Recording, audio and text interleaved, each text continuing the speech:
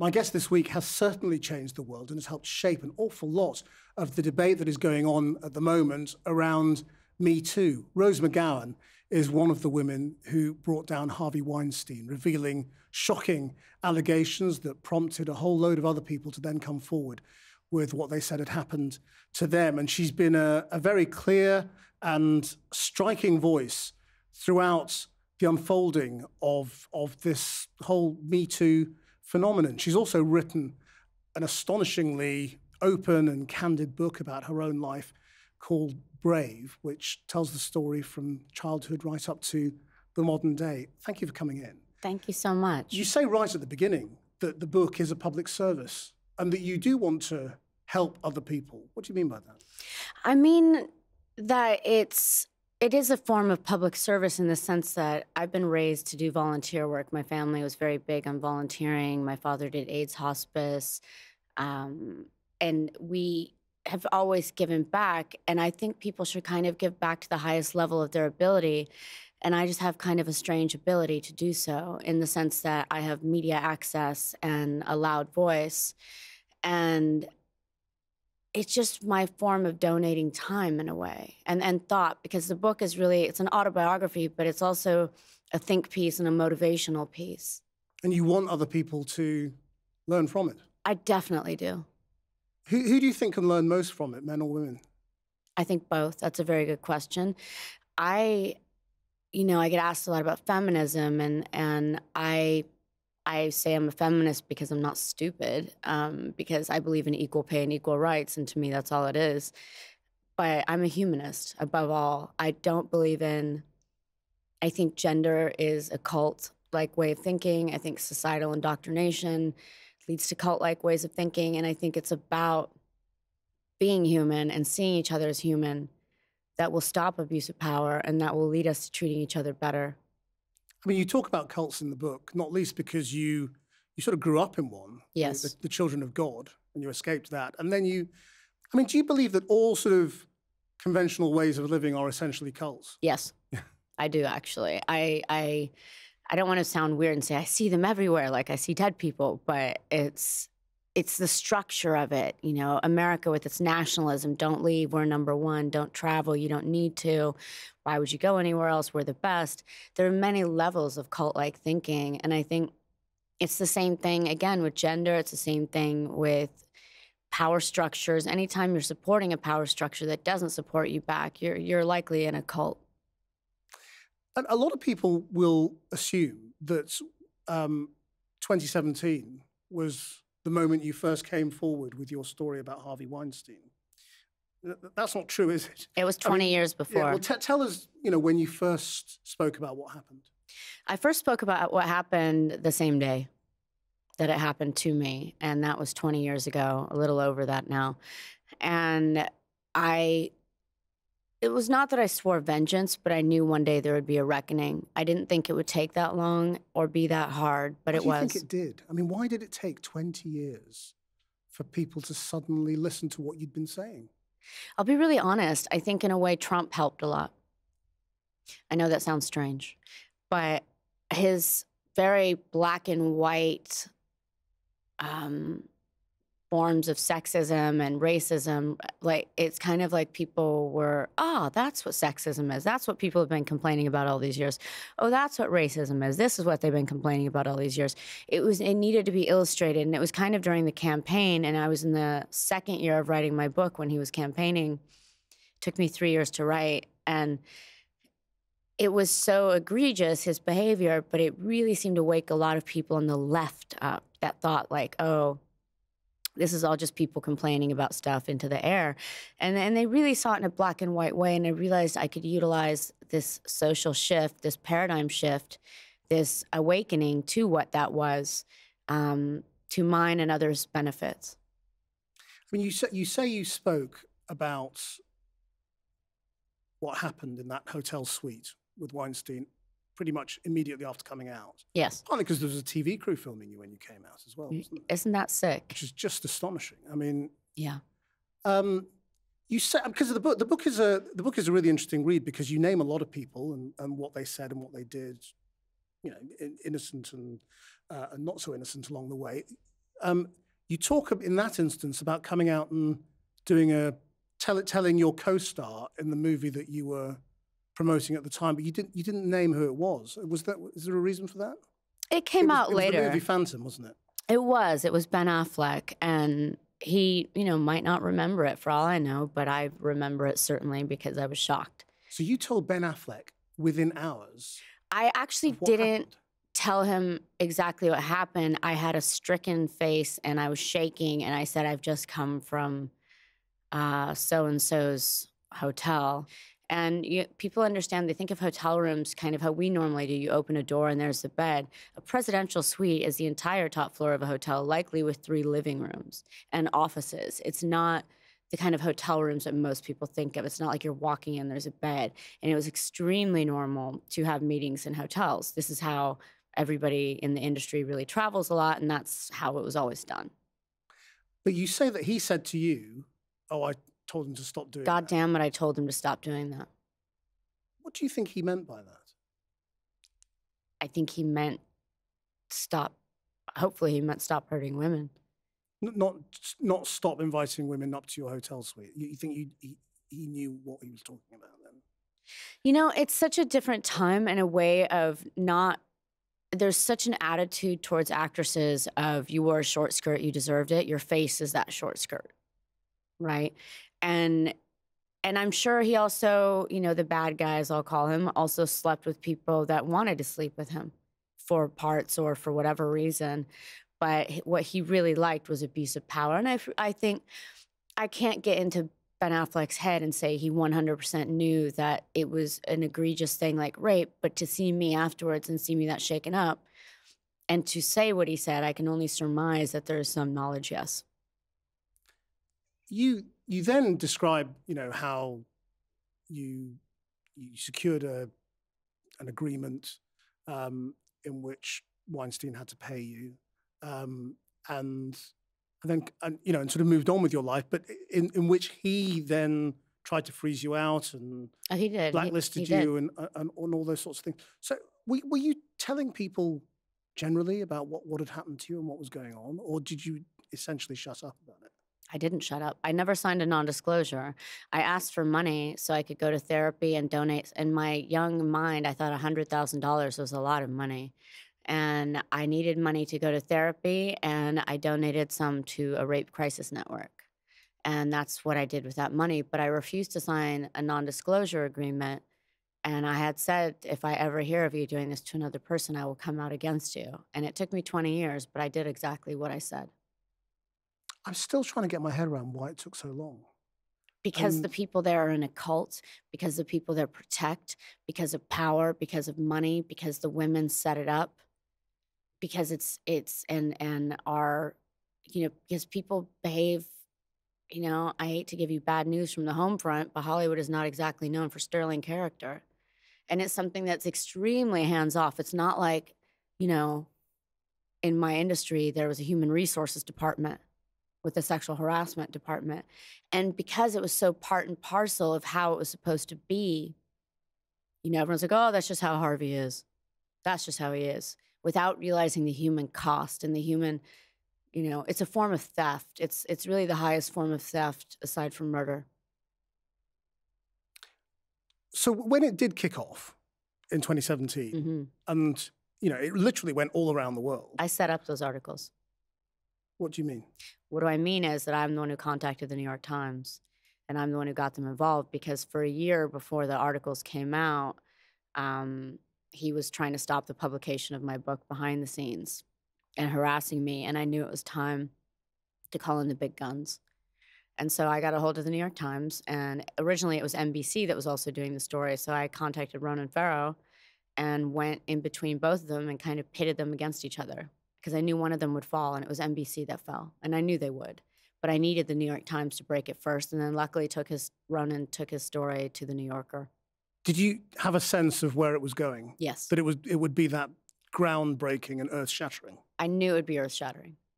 I went to Hawaii the first weekend the the articles came out because it was literally like an electrical storm in my body the amount of people talking about it and and your phone it almost feels like you know whenever you go viral or certainly globally and it was for months and months and months it feels like this live wire this eel that's attached to your hand of voices all across the world and it's an intense feeling and it's a really intense thing to go through and hard to relate to i imagine well, it's, it's, it's, sort of unimaginable. It's not just hard to relate to, really. It's so psychologically. I, I don't like horrifying. I don't really even have the right descriptive words for what it was like. It kind of felt like my skin was being pulled off with hot needles.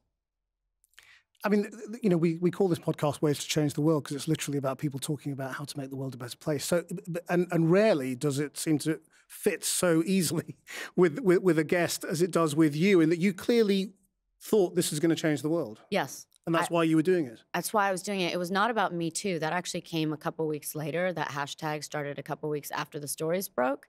And it was really, for me, I was sitting around one night at my house and I was thinking about being a better human. And I was wondering if I could be better and by what percentage. And I kind of came up with this arbitrary number 10%. I kind of sat around thinking, I bet I could be a 10% better human. I wonder if other people could be too. I wonder if I can try to help other people be smarter and see things in a more clear way. Uh, smarter in a way, socially, in a social consciousness way. I wonder if I can make them aware of things that shouldn't stand in our culture, in our society, that we shouldn't have to put up with, that things can, in fact, be different, that we can have a more nuanced and adult conversation about things than have previously ever been had, you know, about specific subjects. But for me, my overall goal wasn't i'm not an activist that goes after like a single issue. I was more kind of addressing an overall social evolution and i wanted to see if i could push people to be 10% better and 10% more awake and that was my goal. I mean when you step back from everything that's happened because it's, it's been a while now so I, I guess you've got some perspective on it what do you think has actually been revealed I think there's been an incredible amount that's been revealed. I I have people that come up to me in the street saying their daily life has changed. I have I've heard from people within you know Hollywood that say things have changed that they're in the writers' room and it's the first time they're ever being listened to as a woman. But also a lot of men thank me, and it's not that I do this for approbation or thanks. It's it's actually nice to be recognized certainly, and I think I am more of a man of the people, if you will, than a media darling. The media came at me really hard, you know, and I had to do a major fight to do this. And and it was one of those things where I was waiting for so long for somebody else to do it. I wanted somebody else to come along, and finally, I I just figured, if not me, then whom? If not now, then when? It's time. Were you braced for the attacks? I mean, did you, do you think that was going to happen? Because people attacked you as, oh, well, she took the money and she did this, right, and she, you know, and she was an actress, and what did she expect, and why did she shut up for so long, and all these questions. Right, which I didn't. It was just exactly. never. People just didn't I realize. Never, people just didn't realize it, and even if I had, that would be my purview and my right as a victim. You know, sometimes it takes a very long time to be able to heal enough that you can fight these fights or be open without with this stuff. One of the things that I tell people, and one of the things I always knew, was that it wasn't my shame this is not my shame. I was not, I was expecting media attacks, but not at the level that it was the vitriol and the kind of the fact that there was such disparity between how people on the streets treated me and what they understood and then the kind of moronic nature oftentimes of the media there was a huge schism and a lot of them had no decency but I didn't care about them because I knew the message had to be out there. I knew I had to thump it. I knew I had to work hard at it. And I knew I had to push the world, whether they wanted to or not. It's for their own good. A lot of people in society really fight at change happening. But I always say, like, you know, when you're little and you got taller, your legs hurt for a period, right? But guess what? You got taller. And that's the same thing with any kind of growth and change. It does hurt. It is painful. It was ugly. It was like the year of the trigger that whole year, you know? Um, almost year and a half. And it was hard for a lot of people in the world, men and women, boys and girls, everybody that's been hurt, you know? And and I respect that and I felt bad for that, but it had to happen for a thunderous change to happen. And, and, do you think there's any danger that that change will just slip back and slip off the agenda? That you know that we'll we'll say, well, we've had Me Too, we've done that, we've dealt with it. I, th- I see Me Too is, is to me it seems to have been sold as this movement by the media, which made me think of like, oh, are there thousands of women with pitchforks in the street? And that's not the case. Yeah. That was not that. It's not that at all. It's really a social reset. Me too simply happened with, did this happen to you? Me too. That's really it. But the media ran with the Me Too movement, and it it wasn't that. It was that people were feeling strong enough to speak out, but also it was just like pressing a reset button on social consciousness.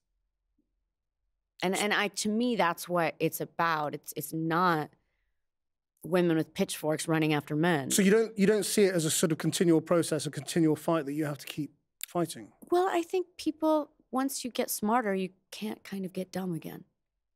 I think you have to go forward. And I think it's incumbent upon ourselves to keep pushing at thought and to keep, you know, one of the things I like to say to do is to write down your belief system and look at what are yours and what have been implanted by society take what you want and leave the rest.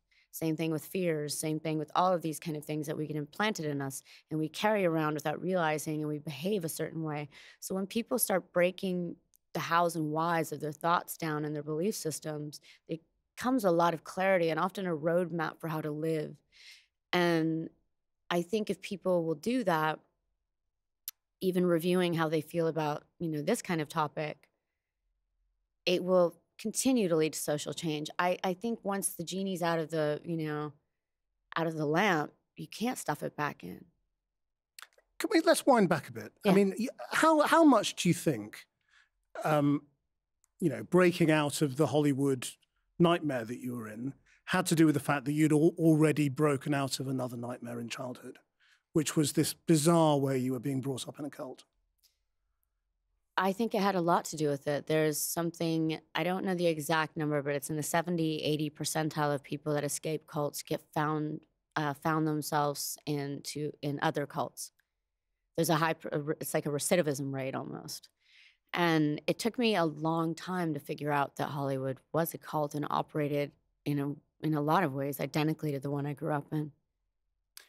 Well, tell me about your childhood then. I mean, what was Children of God like? Children of God was both horrifying and fascinating and stressful, very stressful. I was born into uh, the sect that was in Italy, and my father ran the Italian chapter. There was a duke that was in the group, so we grew up on his uh, estate. So I was in Tuscany, which had a most amazing food and, and beauty, but with a lot of psychological ugliness. And when they started advocating child adult sex, is when we escaped and came to America. But that's when America was almost more horrific for me than the cult. The cult did a lot of lasting damage in the sense that I thought I had really blocked out a lot of the um, teachings just because they didn't make any sense to me. And I thought, frankly, they were stupid. And so you never bought into it? Never. I was born into it, but I didn't buy into it. Quite hard to resist that, though, isn't it? When you're literally born into something and indoctrinated and threatened with violence and all that stuff going on around you, and it's your father who wants you to be part of this. Yes. And your mother. Yes. It was. It was a fight. I fought every day. And I was just, I mean, a kind of strange child that I do wonder what life would have been like if I'd just been allowed to lay in a field and have time to imagine things or do art or I don't know what children do. I don't know what they're like. I've never been one. So you didn't go to school or anything like that as a child? We were homeschooled. I learned how to read at two and a half. Uh, and I was reading pretty intense books by four and five. And then when I came to America later, I was shocked by their level of schooling, which is you're this old, so you're allowed to read this. And I I took great umbrage at their influencing what I could read or not read, and and uh, I was kind of really dismayed by.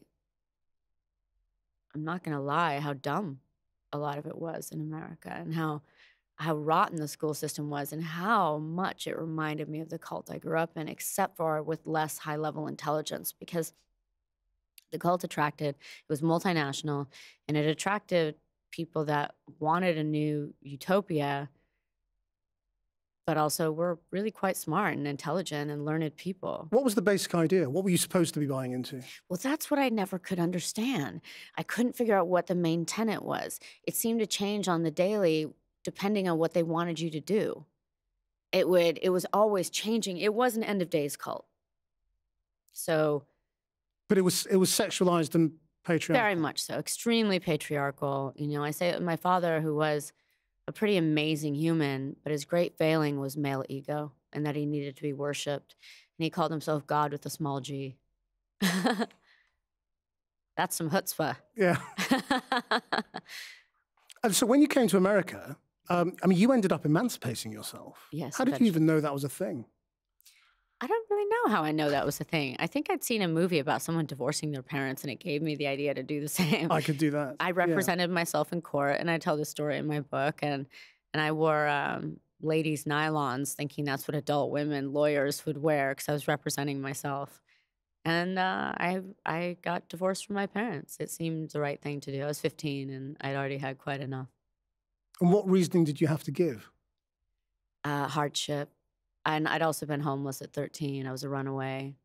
And then I went back for a year with my father for a year when I was 14. And then at 15, ultimately, I just was done. And, and I was living in, I moved down to Los Angeles by myself at that point. And I just needed access to having my own bank account, being able to get a car, you know, doing things that required normally a parental signature, but I didn't have any access to that sort of thing. Did you have any happiness in your childhood? I have, I think, a real eye for beauty, and I could see beauty everywhere and often. Did I have happiness? I had some bursts, but my family was very funny. My brothers and sisters are hilarious, and we would, ma- it was like gallows humor, but we would definitely make each other laugh. Absolutely. And they were very smart. They're some of the brightest people I've ever met. So it was also like kind of I didn't bother making friends because there were so many of us. Because I mean, the, the, the way I mean, obviously, that you know, you miss huge chunks out because it's a it's a short book. Um, but I mean, it, it it does read horrifically. You know, you kind of think, my God, this must have been absolutely awful. Um, but you also talk times. about how, but you also talk about how you don't really want people to have offered you their sympathy or their sorrow or you know, sort of about that. I've met so many people with extreme lives, maybe not quite as extreme as mine, but you know, everyone has a story. And I get a lot of people that do say, I'm so sorry for how you grew up. And I just say, I'm so sorry for how you live because I got free. What's your excuse? You know? Tell us about g- getting free because that's the point. I mean, that, and that's is what you want other people to learn, isn't it? Yes. So, at what point is, is you know is, is emancipation the beginning of you saying I'm going to be free, or you know, at No, what point, what, I what point did you start sort of this journey of being free? honestly as as being really young and fighting against indoctrination that's when i started the journey. I didn't understand why i wasn't allowed to be myself. I didn't understand why people were always coming at me. There's something about me and i write this in the book i, I used to make a lot of adults uncomfortable and i know i can i'm for whatever reason a polarizing figure i think i'm a fairly amiable sort but then I would, wouldn't I? Now, uh, I think I've always been a freedom fighter. You know, the person I relate most to in history is, and I'm not saying, you know, he, he casts a very long shadow, but I, I very much uh, like Malcolm X. And I and I read his autobiography that Alex Haley wrote um, when I was 11, and it had great impact on me.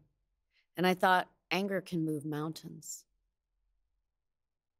And it doesn't mean that one enjoys being angry because who does? It's, it's not a fun way to have to be. And nobody wants to be, but sometimes it helps push things forward. I, I do wonder what the world would be like if he had lived. I think it'd be significantly different. What else do you admire about Malcolm X? There's a lot more to him than anger, isn't there? Oh, far more. He gets really. He's been so. It's but that's how he's presented to the world. Angry black man, don't you know? There's far more to him. He's a very complex human, and he came from nothing and made something of himself. You know, he came from nothing. I came from nothing. Is that what you've been doing? coming from nothing and making something of yourself? No, I don't think so. When I say making something of myself, I don't mean in the financial way. And maybe that's not what you mean either. I mean more in a furtherance of self, I suppose, and making something of myself, something that counts as an individual. I believe in individualism greatly, and I believe in the power of individuality, and I believe in the power of trying to fight for your place in history. It sounds like you must have seen what was going on in Hollywood and the film and TV industry Oh, very early it, on. yeah. So, so why did you stick with it? Well, once you get famous, what other kind of job are you going to get? Where are you going to go? And I got famous very quickly. I was discovered um, on the streets in Hollywood, and two weeks later, I was starring in a movie, and then it won Sundance, and then I was on the cover of all these magazines, and then it just went from there. And what other job are you going to get at that point? You know, it's it's it's a double bind. Just tell us how you were discovered. Is it really like that quick? it didn't happen. It's I, to my knowledge, it it's it was that quick, you know. But um, my boyfriend had been murdered, and I was standing on a street corner crying. And this woman came up to me while I was crying and said, "Do you want to be an actress?" Which is so Hollywood. And I looked at her and I just said, "God no." And then she knew the person I was standing next to, and she kept kind of coming at him to get a hold of me. And finally, I had nowhere to live. Once again, I was about to find myself homeless. So I did the first movie I did to prevent homelessness. And it was a starring role in a Greg movie, which he's a very famous uh, indie cult director and did a lot of seminal movies, queer movies. And this was his first named heterosexual movie. And um, it was a hard set, you know, and I knew right away, I was like, oh, men are prized above all here. This sucks. But I was also working through a lot of pain because of my boyfriend dying and just trying to survive. But in the movie, it was funny. The male characters were kind of supposed to have their thumbs over this girl's head. And I thought, not on my watch. So I kind of subverted the whole thing just through acting. And, and really, it was a big breakout role. Um, I'm talking to you is quite funny because sort of every every every, every clause sort of bears bears a little bit of further um, examination. and you began that sentence with "My boyfriend had just been murdered," so you'd better just tell us about that first. Oh, well, okay. Uh, yeah, that was, um, that was, that was, there's no words for it. It's so horrific. Someone broke into um, our apartment while I was out of town and uh, stabbed him 23 times and almost decapitated him. And it was an employee of his. And um, he was a bit older than me. Uh, and he was lovely. He was like the Pied Piper of good spirits. Everybody loved him and and uh, it really you know again it's that one is the highest form of theft i often think about the fear and the pain that he was in as he died and it it uh it breaks my heart yeah he should be here And how old were you? i was 19 That's a hell of a lot to deal with at 19, isn't it? yeah it is yeah So you say you stuck with this um, for because you didn't really feel you had anything else that you could do at that stage. I always called them useless talents. I have these other talents, but I didn't know how to make any money off of them. And so this was the one thing. And I had, you know, when you're homeless and you're hungry and you're cold, you very often, if you get out of homelessness, have this rock bottom fear of going back there again. And that terror kept me in Hollywood. I, I, I, and I also, it had been so long. And also, there's a point where you spend so much more of your life being different people that are not you wearing clothes that you wouldn't want to wear, eating food you wouldn't want to eat, being around people that wouldn't necessarily be your choice of people to be around. And you're impersonating other people for 12 to 17 hours a day for months on end, sometimes years on end. And you only get to be you and your time off when you go home and go to sleep and you pass out because you're tired and you come back and you start it all over again. So I missed a lot of my own life and didn't have, maybe if I had more time just to space out and think, I could have separated myself more. But as it was, it was just kind of like a work machine. You explained that very well. I mean, it, it makes me.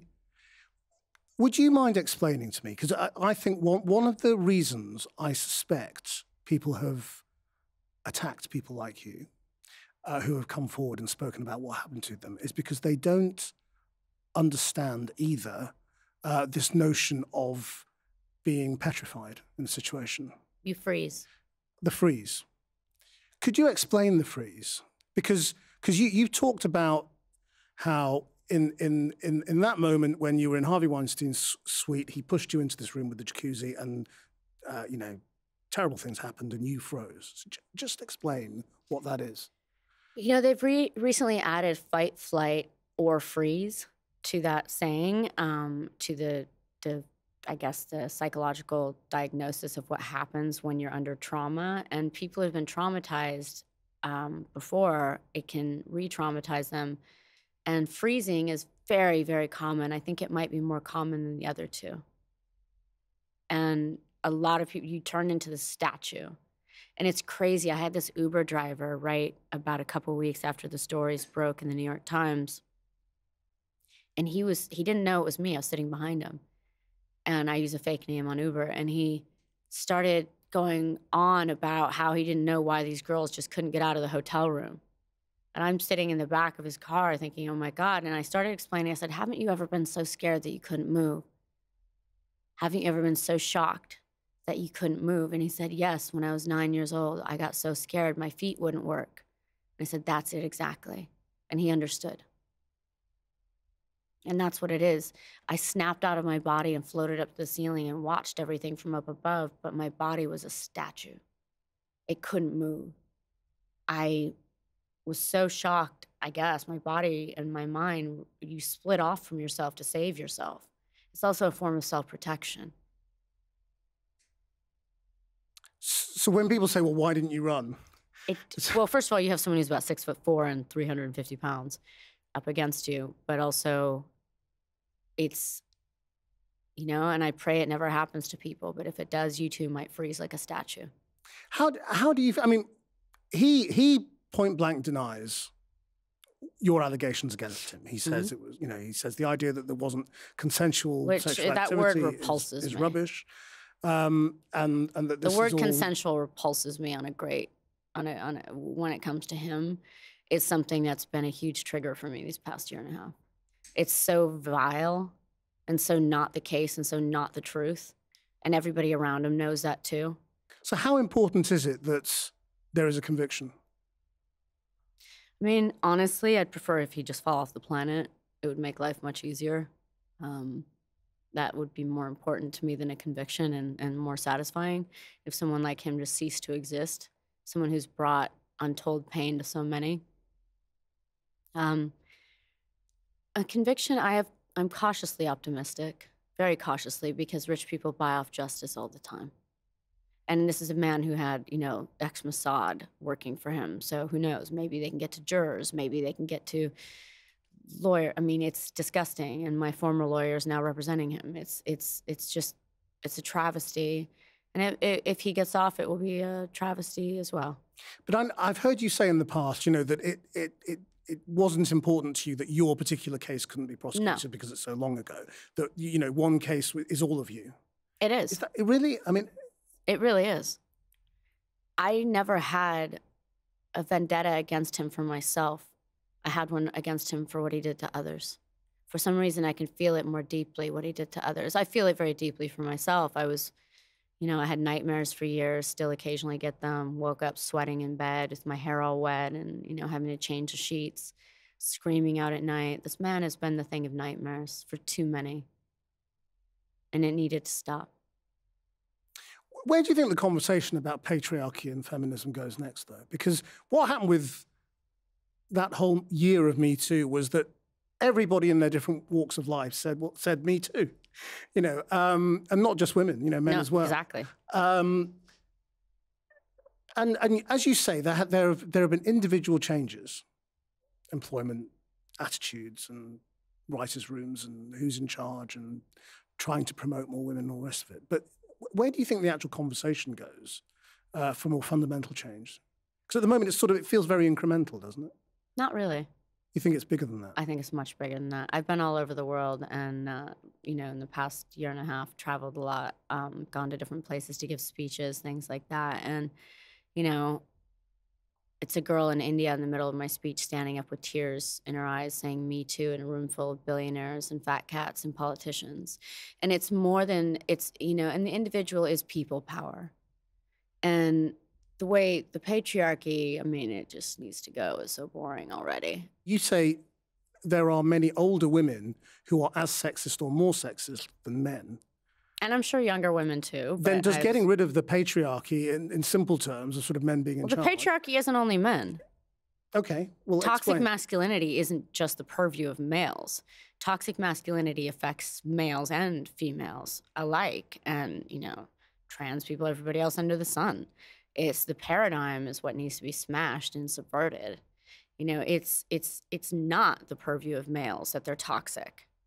It's that it bleeds over and it hurts them just as much. I mean, I when I got the GQ Man of the Year award a few months ago, I was really, you know, in my speech, I said a lot of people ask me if what I do is for women, and and honestly, in the abstract, it's for men, because I see the box they get put into when they're children. I see what they're told, how they're how they're indoctrinated into masculinity, how that it's implanted in them, and I think it steals them from such a young age and traps them in this in this box that just should never be around them. They should be free humans too free to be the human they're meant to be and not free to be the one that society tells them they're be, supposed to be just because they're men. It breaks my heart. But men have reacted. Some men have reacted as well to what's been going on. I mean, at the end of your book, you, know, you, you, you talk about, you know, you, you say men really need to have a big think, you know, about who you are and all the They do. violence and terrible things that stem from the fact that you are. Well, where is it coming from and why is it coming? You know, where what's what's what's nature versus your nurturing? And nurture doesn't have to be a positive thing. You know, and and how do we stop this way of thinking in order to be better humans? in So, how much do you think is nature? I think uh, a lot of it is the nurture. I think a lot of it is the nurture. I think when there's a predator out there, that's a totally different ballgame. You know, I recently had a conversation with a male friend of mine who sat around. He said he had a great conversation with five of his guy friends. They sat around all night talking about times they'd gone too far or times they were the best, you know, kind of human they could be and, and just dissecting it. You know, that's what needs to happen. Just have honest conversation because once you talk about it and once you think about it, you can't unthink. And I think that's where we go forward. And I see men getting better and better as humans. I do. I really, really do. And I see them wanting to be better. And I see women needing to be better and needing to realize that not only is the king chair that men are placed in an illusion, you know, the queen chair is just as worthy. And they both don't have to be an illusion. We can earn these things. It's okay to sit in the king chair if you earn it, but make sure you do. And I think the way to earn it is by being a positive and really good force for change out there in the world. Do what you can, do it. Stand up for yourself, stand up for your neighbor. Be better. So, let- let's say we put you in charge of changing the world and, and you can do whatever you want to do. What's on your list? Potentially politics. But what's on my list? I really just want people to look, if your life is a piece of fabric, you know, and it's a tapestry, look at the threads that are organically yours, your thought threads, and your beliefs and your fears. What are organic and what are implanted synthetics, and take the synthetic ones out. It's really just examining your own life. But isn't all knowledge synthetic in your terms? You know, it's implanted in us, and some of it is good. No, I think, uh, I mean, I feel like I had belief systems in me that came from myself growing up, you know, very much so. Maybe it is, you know, that's the whole thing. I think because the cult I grew up in was so intense, I could see it for what it was. Whereas I think most people that are in a more watered down version of a cult can't see it for what it is. I think I would get them to see that clearly and get them to see that they're much freer than they even can dream of being. And they can do it. What's the biggest hurdle to that? people don't really like change that much. They fight against it. You know, you can be a Boy Scout all you want. People be like, no, or a Girl Scout, and they say, I don't want your cookies. And you're like, but these cookies are good. The cookie is thought, you know. Uh, I think, uh, I don't know. I have, against all odds, a lot of hope for humanity. I believe in us. So, is politics a, a thing you're thinking of? It is. In what form? I haven't really fully hashed that out yet. It's just something that's recently been running through my brain, and I might go back to school and do a politics and a, a political science and journalism double major. Um, but but with a view to running for office in some Yes. form. I'd have to figure out which office, maybe the Senate, maybe the presidency. It might surprise you to know I wouldn't run as a Democrat, What would you run as? probably a Republican. Not because I agree with their ideology. I agree with the original Republican platform, you know, hundreds of years ago, I, I do agree with. But not now, not not for a long time. But I, I would rather infiltrate the side that's against me versus, you know, the echo chamber. I think you can get a lot more done. Do you agree with the economics of the Republican Party or the worldview? Or I mean, like, is there anything you agree with about the Mm. Republican Party, or you just think that's the one I need to change, so that's the one I'll join? I like a hard fight. I like to think, what is the hardest road I can possibly take? Let me take that one. yes. Possibly so. Um, I agree with the original thing of like less government in your life and and uh, less taxes. Sure, that sounds great. Unfortunately, that's not exactly how it ended up. Not by any stretch. Uh, I think we need to really separate um, religion from from government. I think that's really, really mandatory. And I think a lot of our problems certainly stem from religion. and in sort of social and welfare, I mean, you know, if if you're if you're going to look at the Republicans and the Democrats, Oh, I are don't you, are you I, saying you sort of side with a small government, you know? I think I mean more in, in, in national debt worldview? and things like that, you know. Um, but I wouldn't say I'm a bleeding heart liberal, but I would definitely say that I have deep empathy and care for people. But I think things can be restructured to work a lot better. The mental health system, or lack thereof, in the United States is appalling. It's it's disgusting that no Democrats have you know gone for that. What we have school shootings like every day there, and no, and they're always saying you know it's mental health problems that cause people to shoot each other. Okay, well then why don't you have any mental health facilities or mental health care then? Nobody's doing anything. So we just keep if no one's taking away the guns, why aren't you advocating for mental health care? I don't see any Democrats doing that. And do you think America's ready to vote for somebody like you? Sure, why not? Maybe in 5 years. 4 years. It's not a long time. I mean, if you think where we are now, It's not a long time. With with with the kinds of candidates who gain traction in America, Yeah. you're a long way away from that. Ah, you'd be surprised. I think I have a lot more ground support than people know. What's I- what's given you that idea? Is it just is people getting in touch with you? It's people getting in touch with me, but also, you know, I was I was volunteering as a lobbyist in Hollywood. I mean, in uh, DC for a while actually for the NEA, the National Endowment for the Arts, until I realized they were completely off the mark, and I didn't want to be a lobbyist. But I was doing it to walk through the halls of power and to learn the ropes, and so I did. I've been preparing for this for a while. I, I do a lot of things behind the scenes in secret until it's time to strike. And I mean, with American politics, it makes you think. Well, you know, if you think about how conservative, small c conservative American politics is in terms of the kinds of people it produces who lead, um, you know, is it really ready for um, a, uh, an you know a, a non-binary ex Hollywood actress who brought down the system? Um, I don't know. Are we ready for a reality show star that is a false billionaire and a compulsive liar? Sure. I think he's both. eh, He's fascinating. He's both a compulsive truth teller and a compulsive liar. He tells the truth about the stuff he's not supposed to talk about, but then lies about everything else. It's quite fascinating. But it's interesting. I do have actually quite often a lot of support from the Trump base, and and it's. I think they like people that stick it to Hollywood. They can't see kind of what's in their own backyard as a big glaring problem, but they can see they can see the other. The faux liberalism always bothered me about Hollywood. and how would you explain being non-binary to the great American public? Well, What is it? I don't know. I don't really think I'm anything. I don't really identify as anything. You don't. no. I I don't really care. It doesn't interest me. It's not where my interests lie. Doesn't a lot of small town America want traditional traditional American values? You know, Who's where does to it say fit I into don't? that? Who's to say I don't? Well, where does it fit in? I mean, or where, where is the? I've lived in a lot of small towns, and I and I and I I've talked to a lot of those people, and I think a lot of them are pretty amazing. They've just, they're so disenfranchised and they're so disgusted. And then there's a lot that, you know, you'll be talking to somebody for a while and they seem amazing. And all of a sudden they say something that you're like, oh my God. oh. But I think, you know, if anything, maybe I won't win, but I can give people some food for thought. And would you try and get the Christian right out of Republican politics? Well, that would be a good thing, wouldn't it? Might as well. Might as well put it all on the docket. Might as well fight the biggest fight you can fight. But I'm not against them, I'm for them. I'm just for them being better.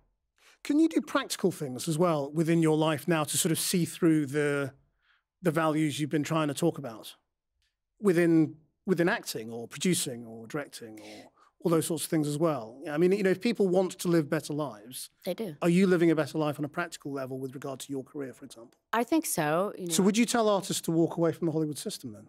So just don't engage with it. Yes. Do, do, do you know you don't have to anymore, do you? You don't have to do. No, you don't. I, I think the Hollywood system is is dying. I think it's um I think beautiful films are beautiful, but I think it's fairly irrelevant. And I think it's a propaganda machine and we need to dissect what it tells us. I got sent a script, you know, last year, shockingly. And um my character had a laundry basket in every scene, but she never did laundry. I was curious why. There was no explanation. it's that kind of stuff. Could you have ever just challenged it in the time, or would you? Would that have just been? It was even just you know, been walking away from a job. It'd be walking away from a job, but it was also not the time yet to do so. So all those I people who are trapped in it, I think that's now what I mean. You, could. you know, all those young people who are in that industry, who are going for auditions, who are being told to wear tight tops and take their clothes off or whatever it might be. I think that's changed a lot. And I, I, I think you could, you know, now before, um, you know, they have um, according to the lead character or the secondary leads on a, what we call a call sheet that comes out every day to tell you, you know, who's working on the set and what they need on the set. I was always listed as number two, even though I was usually number one in the film, and it was always the man, even though if he was really my supporting actor in the movie who always got number one, but I never went in and fought it because I would just be labeled a bitch and that would spread down the wire. And I was already fighting such a heavy blacklisting and someone coming at me all the time behind the scenes that I had to do everything I could to just be like very amiable and not go against the grain. So I guess I stored all that up and utilized it later. I ask everybody in the in the podcast if they've got if they've got one sort of um, really hard to deliver but sort of secret dream of sort of how to change the world, what, what it would be. Do you have one? A secret dream, how to change the world. Yeah. I think if we could forget the indoctrination, I think if we could wave a, a wave a magic wand and go back to before we were programmed and just to be set free, I think that would be a beautiful thing. Does it have to be fantasy life advice, or can it be real? Is it real? Yeah, fantasy. Can be either whatever okay, you want. Okay, I'm gonna go fantasy on that one. but it's interesting that question. It certainly would have been something that would have very much applied a year and a half ago. But now the secret is out. The secret is out. Rose McGowan, thank you very much indeed. Thank you for joining us on Ways to Change the World. Thank you so much.